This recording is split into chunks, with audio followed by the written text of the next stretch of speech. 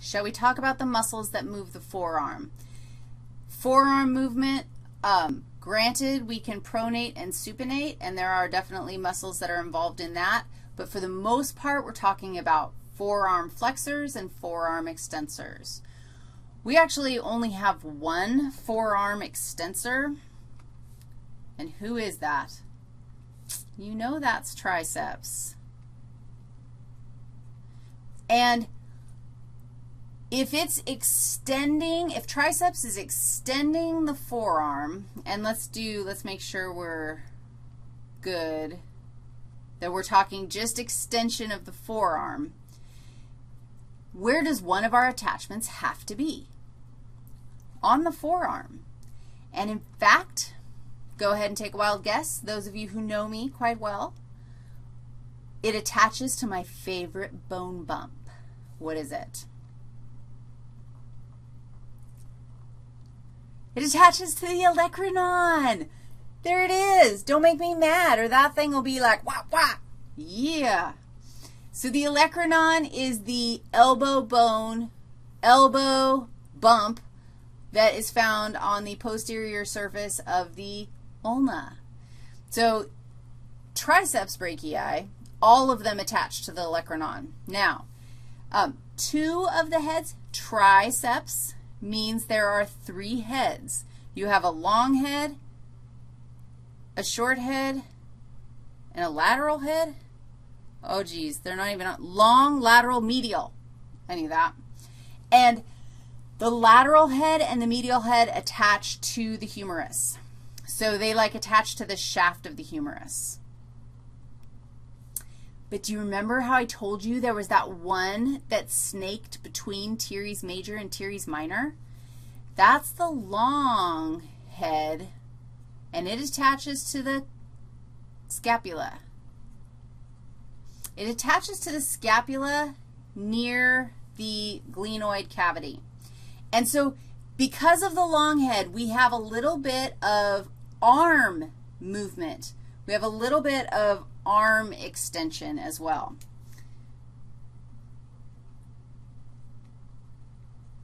But that's only the lateral head that's responsible for the arm extension. The rest of the tricep is really just forearm extension. Let's go look at that one really fast. Look. Who is that? No, that's not where I'm looking. Okay, look. Oh, here's latissimus. Here's triceps. The whatever head this is, the lateral head, and the medial head is deep, and they're like truly smushed onto the muscle itself. There, there's so many attachments onto the muscle that you, you can't really, I like muscles where you can grab the attachment and like wiggle it, and triceps is very challenging. You shred it if you try to pull it up off the bone. Sad story. But the long head of the triceps is easy to find because it passes between teres minor and teres major. Okay, life is fantastic. Let's get rid of our triceps and go figure out what our next one is. Um, let's do biceps next. We have two heads that you have to know of the biceps. You have the long head, which we already know that one, right?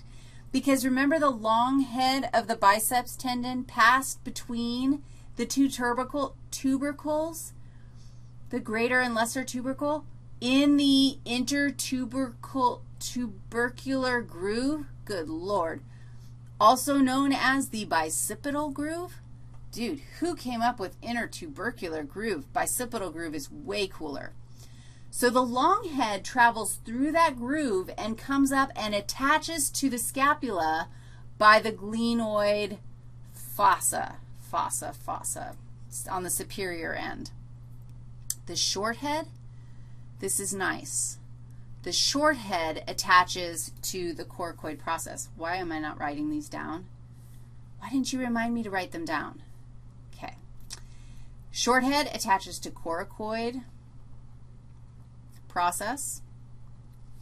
Long head attaches to um, above the glenoid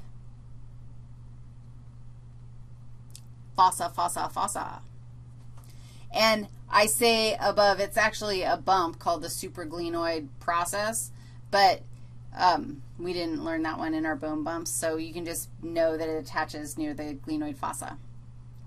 Who else attaches to the coracoid process? Pec minor attaches to the coracoid process, so they share because we're friends. Biceps brachii, um, there's a little bit of messiness in the distal attachment, but the piece that I want you to know is that biceps, we'll just say both of them, attach to the, I can do this, it's on the radius, I think it's the radial tuberosity. I can see it in my head. I just want to make sure I have the right name for it. Radial tuberosity. And, oh, it's so cool because, well, we'll talk about the biomechanics of biceps brachii, and we'll have a push-up, chin-up challenge in class.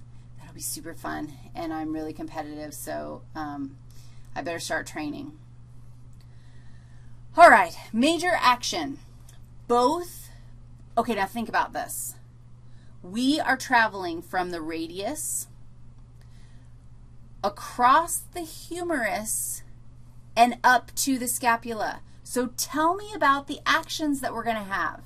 We cross the elbow joint, so one of our actions is going to be um, flexion of the forearm. So, and that makes sense, right? Because, and you can feel it. Flex your bicep when you contract your bicep, when you flex your forearm at the elbow joint, you're cool. But that's just one piece of it because your bicep is also activated when you flex your humerus. So you flex your arm at the shoulder joint. And I'm trying to say that these happen at both. Like both of my bicep flavors are responsible for arm flexion and forearm flexion because both of them attach to the radius, which is distal to the elbow joint, cross that joint, cross the shoulder joint as well, and attach to the scapula. So biceps rocking two joints, doggies? That's exciting. Brachialis. Brachialis is a flexor. It does not cross two joints. It only crosses the elbow joint, so it flexes the forearm. And let's see if I can remember where brachialis attaches it smashes onto the humerus. So it attaches to the shaft of the humerus. On the anterior surface and deep to biceps.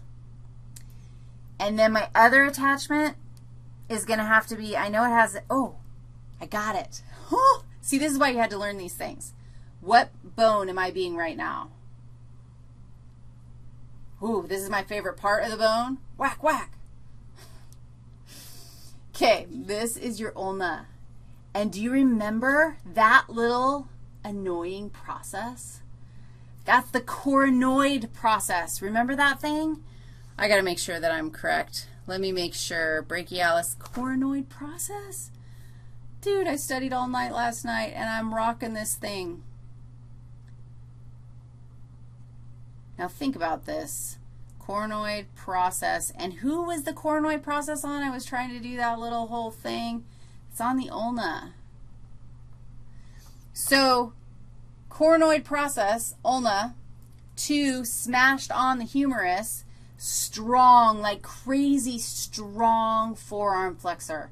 When brachialis and biceps work together, you aren't messing around unless, of course, you pronate. Uh-uh. But I'll fight you because um, we'll have a competition, a pull-up, chin-up competition, and I know the trick. I know how to make sure biceps and brachialis are engaged. Brachioradialis. Brachioradialis is clutch for making sure that you can identify the next set of muscles, which are all um, hand and finger movers.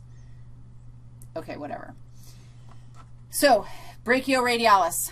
Brachioradialis, which side is it going to be on, medial or lateral? Let's just be loud and in charge. It's lateral because it's on the radial side. And guess what one of its attachments is? The distal attachment is to the styloid process of the radius. That's why we had to know that one, you guys. And then its other attachment is somewhere on the humerus. Shall we check where? Brachioradialis, lateral distal humerus. I love that. Look, lateral distal humerus. And what does it do? Flexes the forearm. All right, let's go look at them really fast before we um, do anything else because I know you want to do other stuff. Where are we? Triceps were good. Let's look at biceps brachii. We talked about biceps brachii. It's two pieces. It's attached to the radial tuberosity. Think about what happens if you pronate your hand, what happens to your radius, and what might happen to that little biceps tendon. The long head of biceps, long head is lateral It passes between the tubercles through the intertubercular groove, and it attaches superior to the glenoid fossa. Fossa, fossa, fossa. The short head is medial. The short head, I mean, I'm looking at this going, dude, the short head looks longer than the long head. It's always helpful. So just go with short head is medial. Short head travels up and attaches to the coracoid process on the scapula. Fantastic. And we're going to have flexion of the arm and the forearm with this because it's spanning two joints. That would be an awesome test question to um, analyze. I could give you a scenario where I'm not telling you the muscle name, but I could tell you it spans two joints and it, um, I don't know how I would say that, but your answer to this question that I don't know how to say it is it spans two joints, so it's going to cause movement at two joints. Okay, so memorize that. Oh, geez. Let's look at brachialis. Remember I said brachialis was deep to biceps. So if we peel back biceps, we would see brachialis underneath there. Biceps would go up over the top. In fact, let's um, put our biceps back on. See how biceps is on there? Let's get rid of biceps, and now we can see brachialis deep. It smears on to the shaft of the humerus and it comes down and it attaches to the coronoid process of the ulna and is a really powerful uh, forearm flexor. And then brachioradialis. Now look at this thing. Brachioradialis is weird because it's a long, long, long muscle, but it isn't a hand mover. It doesn't cross the wrist joint. It just goes from the lateral distal end of the humerus all the way down to the styloid process on the radius. So that puppy's going all the way down. Now, you have a wad of muscles right here, also known as the mobile wad of Henry. Dude, how awesome is that? Everybody palpate your mobile wad of Henry. The, the, um, seriously? Brachioradialis is part of the mobile wad of Henry. All right. The good news is we have one left, and, and our last section is all about muscles that move the hand at the wrist joint, although we do have some um, flexors and extensors. Phalange flexors. Okay, I'll see you in a second.